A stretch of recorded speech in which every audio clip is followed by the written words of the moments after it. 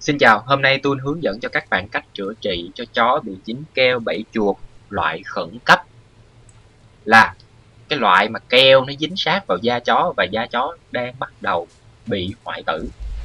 Nếu dính keo bẫy chuột, nếu để quá 2 ngày, chó sẽ bị chết ngay vì keo sẽ ăn vào da làm cho chó bỏ ăn đau đớn mà và chết dần.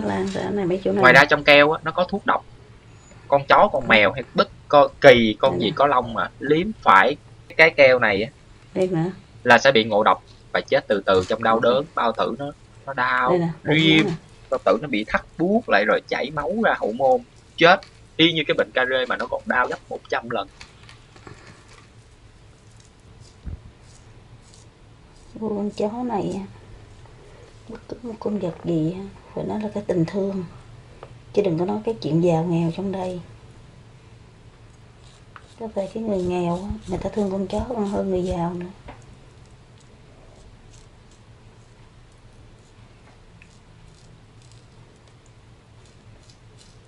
Thì người ta không đủ điều kiện nuôi thôi, chứ người ta thương nó lắm. Còn cái người giàu người ta có thể người ta mua đủ thứ được nên cái tình thương người ta không có nhiều đâu. Đừng bây giờ thì hiểu lầm, đưa cho con chó nó qua chỗ đó rồi nó sống giàu sang sung sướng, đừng bao giờ nghe hiểu nó chỉ là cái công cụ để người ta mua vui thôi. Thứ nhất thứ hai nữa là để giữ nhà cho anh ta. Nói ra thật là đau lòng. Vì tôi vừa tặng bé phóc sóc này cho một bạn nhỏ là fan cứng của tôi luôn. Sau khi á tôi đem cho một ngày thì tôi ngủ tôi cảm thấy là em ấy không được gặp may mắn có chuyện chẳng lành. Sáng hôm sau là tôi qua đón về ngay. Và sáng hôm sau là thấy em ấy bị cột đầu tại chỗ.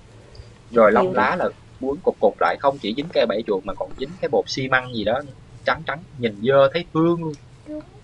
Các bạn biết không ở nhà em ấy cũng phải lấy. rất là sướng sướng như thần tiên.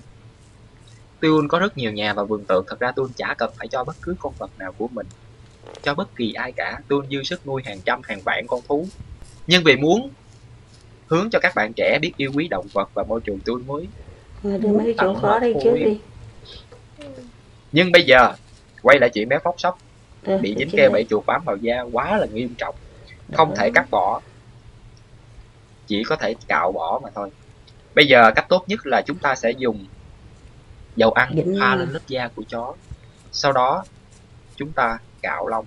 Cạo lông là phải hai người hỗ trợ giống như vậy thì mới cạo được lông của nó chứ không phải nó quằn một cái là da của nó đứt ngay cái giữa lưỡi dao lam nó bén lắm các bạn và chỉ cần da em ấy đứt rồi cái cây bẫy chuột ấy thấm vào da là em nó chết. Chết có thể là bị vì bệnh ung thư. đó các bạn coi đi.